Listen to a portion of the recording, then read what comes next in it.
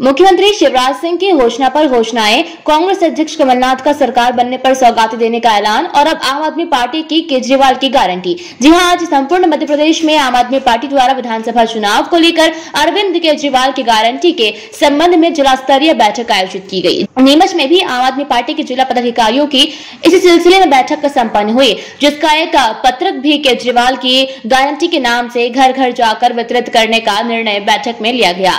आम आदमी पार्टी के लोकसभा प्रमुख नवीन कुमार अग्रवाल ने बताया कि इस गारंटी पत्रक में शिक्षा, स्वास्थ्य, बिजली, युवाओं को रोज़गार, संविदा कर्मचारियों को नियमितीकरण, बुज़ुर्गों को तीर्थ यात्रा जैसा आठ वादे किए गए हैं। किसानों और महिलाओं के लिए भी अलग से गारंटी पत्रक जारी किए जाएँगे। बैठक में जिला अध्यक्ष अशोक सागर, बालचंद वर्मा, रमेश गुर्जर, डॉक्टर राजू पाल, लोकेश पाल, चंदेल पटेल उदय राम चौहान, सुल्ताना बी, लवीश कनौजिया सुनील नागदा, चंद्रशेखर, बाबू दीवान, देवीलाल मेघवाल, राकेश राठौर, राय सिंह और अन्य पदाधिकारी और कार्यकर्ता मौजूद रहे। आज आम आदमी पार्टी की जिला स्तर की मीटिंग है और आज इस तरह की मीटिंगें पूरे प्रदेश में आयोजित की गई हैं जिला स्तर पे। और इसमें ब्लॉक स्तर से ऊपर के जो पदाधिकारी हैं नीमच की बात करें तो तीनों विधानसभा के जितने पदाधिकारी हैं, वो आज सभी यहाँ पर उपस्थित हैं।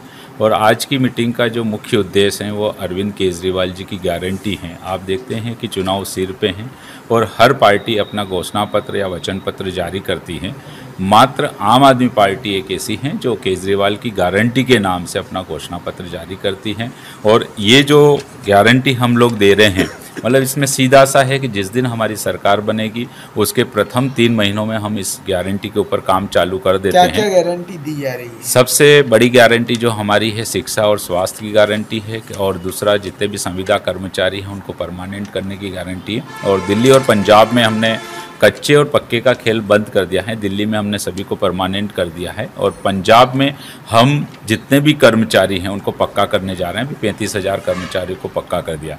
मध्य प्रदेश में हमने टारगेट रखा है कि एक साल में हम दस लाख लोगों को रोज़गार देंगे, उनको पक्की नौकरियाँ देंगे।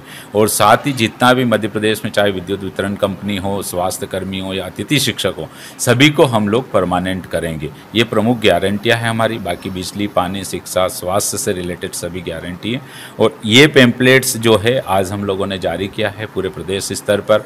और हमारे जितने भी साथी हैं, कार्यकर्ता डोर टू डोर हर पोलिंग बूथ के सभी गाँव में पहुँचेंगे और डोर टू डोर हम लोग इस पेम्पलेट्स का वितरित करके लोगों को दिल्ली और पंजाब में जो हमने गारंटी दे के काम किया, उसी आधार पर यहाँ पर भी हम प्रथम तीन महीनों में काम करेंगे।